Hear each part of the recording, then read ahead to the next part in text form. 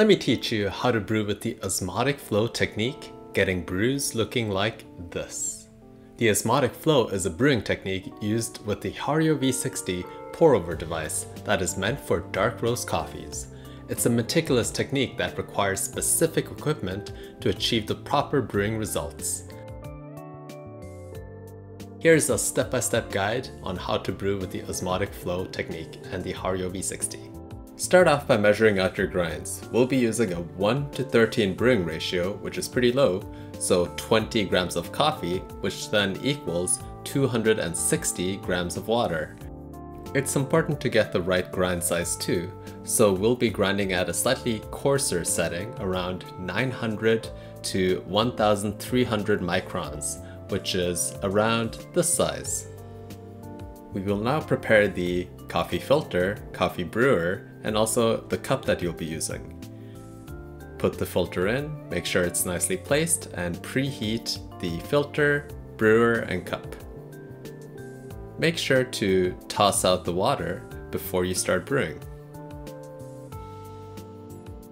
Pour in the grinds, shake it out, make the bed even, and then let's start the pour.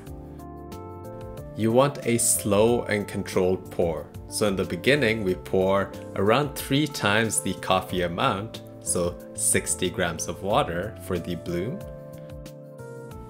after slowly pouring the bloom amount, we wait around 10 seconds. And then we begin the second pour segment where we pour around one third of the total liquid, which is around 120 grams of water, down the center of the brew, keeping it as still as possible. Wait 5 seconds after you've poured in that water and then pour the third segment, which is a continuous pour with the remaining liquid in a circular motion, like so. You want to slowly keep on increasing the size of the circle of the center area until it's around 1 inch in diameter. Keep on pouring consistently at the same height as slow as you can in the circular motion where the crust and the bubbles meet. After you've poured all of your liquid, let the brewer drain for around 5 seconds and then remove the brewer before all of the liquid drains from the Hario V60. Give your coffee a stir and enjoy! Low, slow, and controlled pour. This is the name of the game with the osmotic flow you need a gooseneck kettle, and also you need steady hands. With steady hands, you also need a good pouring technique. This is my normal pouring technique, but for the osmotic flow, I actually tilt the gooseneck kettle to the side to get even lower and closer to the grinds.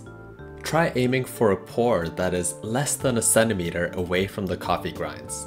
So you need two other things to achieve this. You need to brew with a big dose of coffee at least 20 grams or more per batch, and you need to use a small Hario V60 version 1. Now this very specific technique requires dark roast beans. And this is because the CO2 that is built up in the dark roasts allows it to create the big dome shape that is required for this osmotic flow brewing technique. And darker roasts love cooler brewing temperatures, so aim for around 80 to 85 degrees Celsius. If any one of these key concepts are off, that can lead to a bad cup of coffee with the osmotic flow. The brewing technique is not as forgiving as other Hario V60 brewing techniques, so keep that in mind. There are a couple things that could happen. Here's the mini troubleshooting section.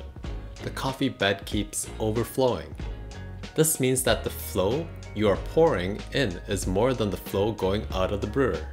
To fix this, pour slower. If you're already pouring as slow as you can, it might be of interest to look into a flow restrictor for your kettle, which makes it so that the flow that comes out of the kettle is even slower. Another option is to get a filter with a quicker flow rate so that the liquid leaves the brewer quicker. Coffee isn't degassing and creating the dome shape. The beans you're using are either too old or not roasted dark enough. Sadly enough, there's nothing you can do with your current batch of beans to fix this. But for your next batch of beans that you buy, make sure that they're a dark roast bean and they're freshly roasted. As I was doing research and learning about the osmotic flow technique, I consistently saw the osmotic flow technique being butchered in some way or form when I saw a Western coffee channel or guide try to showcase it. Either a lighter roast was being used, the pour was high and turbulent, the coffee bed looked mostly flat at the end, or the integrity of the coffee bed was broken. Only through a subscriber's help, thanks David, sharing some additional insight on the osmotic flow and linking me some videos of himself and another Japanese YouTuber using this brewing technique, did I manage to fill in the blanks and understand the osmotic flow process.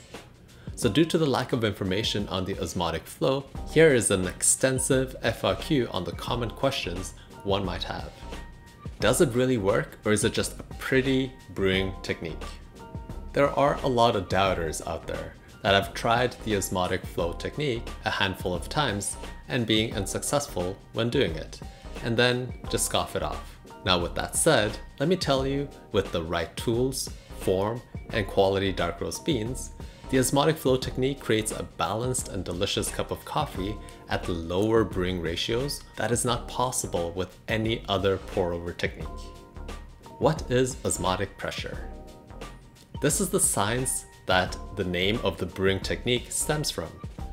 Osmotic pressure is when two liquids with different concentrations are side by side creating a semi-permeable membrane that restricts what moves between the two liquids. In the third pour of the osmotic flow technique, the outer area of the coffee bed has a higher concentration, while the center water that is being poured by your kettle creates a column of liquid that has a lower concentration. As the high concentration liquid interacts with the low concentration liquid, molecules that are solvent, fats, acids, and sugars, can move through the semi-permeable membrane, while bigger particles like plant matter cannot move through it. The key aspect here is that not all particles move through the semi-permeable membrane. Fats, acids, and sugar that have been broken down become solvent and can pass through, but bigger pieces like plant fiber, also known as coffee fines, cannot move through this semi-permeable membrane. What if you just use the same recipe with a normal brewing technique? I brewed two cups of coffee, one where I knew I got a delicious cup of coffee with the osmotic flow technique, and one where I used my normal routine that I usually use for a lighter roast, but with the lower brewing ratio and water temperature. The cup with the osmotic flow was balanced, smooth, viscous, thick, and juicy. The cup from the normal technique was astringent, over-extracted, and just harsh and dry which wasn't that great. So think of it like this. Each brewing technique has its time and place. The osmotic flow technique is a low extraction technique compared to other pour over techniques, which makes it great for darker roasts. Can I ever use the osmotic flow with lighter roasts? This is something that I'm really curious about. And initially I thought, ah no, you kind of need that CO2 buildup to create that nice dome and everything. And I don't see it being possible with lighter roasts because of that. However, what if you use a light roast coffee that is freshly roasted with a lot of CO2 with the osmotic flow technique? This is something that I'm gonna test out shortly. And if I've already tested it out, you should check it out right over here. I've only been exposed to specialty coffee through light roast coffees, and learning about the osmotic flow technique made me realize how skewed the perspective is in the Western world. I did a survey on my channel regarding the osmotic flow technique, and around 68% of people have neither tried it or heard of the osmotic flow technique. We are currently head over heels enamored with maximizing acidity and fruitiness in roast coffees.